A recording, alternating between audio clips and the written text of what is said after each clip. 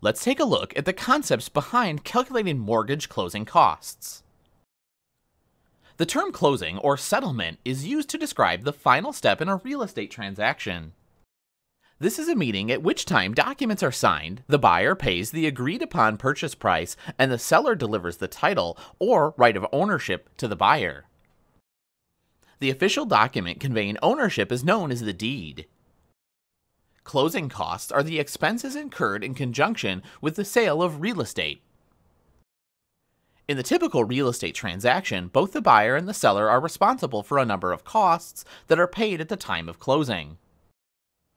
The party obligated for paying a particular closing cost is often determined by a local custom or by negotiation.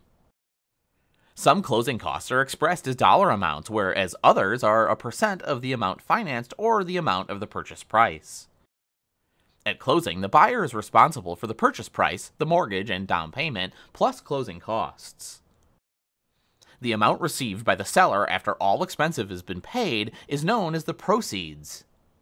The settlement statement or closing statement is a document, usually prepared by an attorney, that provides a detailed breakdown of the real estate transaction. This document itemizes closing costs and indicates how they are allocated between the buyer and the seller.